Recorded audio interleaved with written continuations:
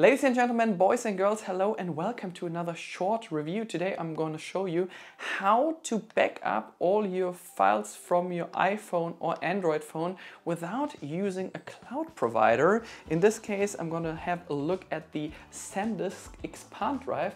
In this case, it's the USB-C version because I've done already quite a few videos about this stick here and there's also an alternative version. If you go to the Apple Store, this stick will cost you around about 110 bucks. But if you have a look into the video description, it will only cost you 60 bucks. This stick should work with iOS and Android and if you do have any further questions make sure to leave a comment below. Let's get started. The first thing you need to do is make sure to download the SanDisk iXpand Drive app. It's available for free and it has a size of 122.3 megabytes at the moment. Before you start the backup, make sure you go into display and brightness control, go to auto lock and set never, since you want to avoid that the iPhone closes while doing a backup because I don't know if it will continue doing the backup or not while the display is closed. Otherwise, I would lower the brightness once you're in the app and you're doing the backup just to save some battery, just in case that your phone is already dying. So use the stick, put it into your iPhone. The direction doesn't really matter. Then you're getting a message right here. iXpand Drive would like to communicate with your phone. This is at the moment in German, should be in English on your phone.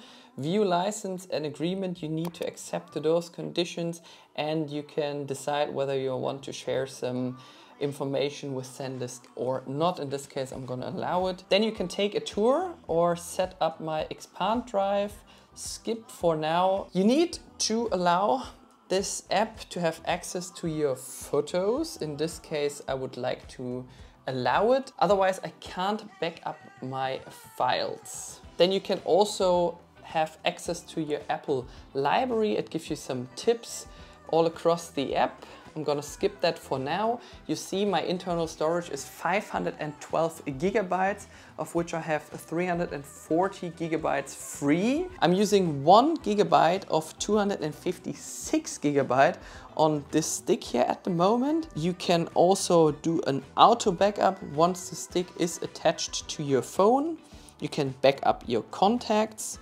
Last, your last backup was never since this stick is new. And you can also connect to your Google Photos to store them here on this external device. Let's assume that you want to take some videos and photos and you don't have any space left on your internal storage of your phone, you can click on that camera symbol up here, allow the camera to have access to this stick and uh, also on the microphone and then you can start to record and take pictures straight away from your phone onto this external drive, which is super nice. Or even if you don't want to waste the storage, off your phone and you have a longer project that needs to be recorded onto an external device, you can do it straight away here onto the stick. Copy files. I can copy all my photos from the iPhone or and copy it onto my stick. I can view the files which are either on the iXpand drive or on the phone. And I can do now a backup of my contacts. Can also allow an automatic backup anytime the stick is attached and backup and restore I can enable auto backup which I will skip here for a moment. What you want to do is back up your camera roll.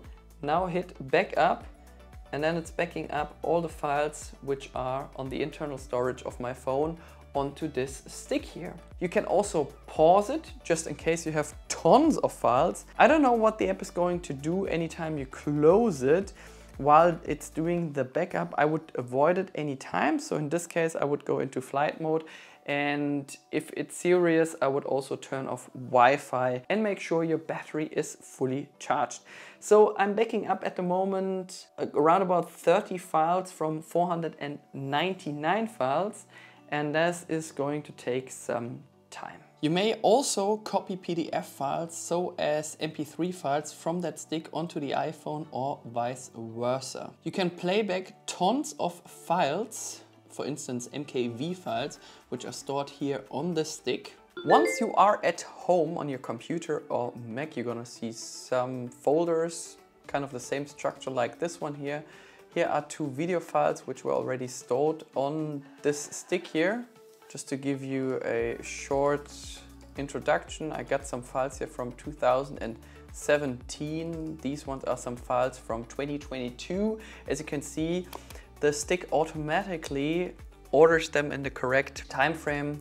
These ones are some pictures and videos from September 2022. Here are some files from October.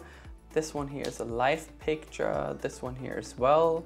That's a PNG file. So it helps you to organize the files straight away, which is super nice. And I can put on some MP3 files now and playback them PDF files and copy them onto my phone. So 110 bucks in the Apple Store, only 60 bucks using the link provided in the video description below. If you have any further questions, please make sure to leave a comment below. If not, make sure to subscribe and Merry Christmas. Bye bye.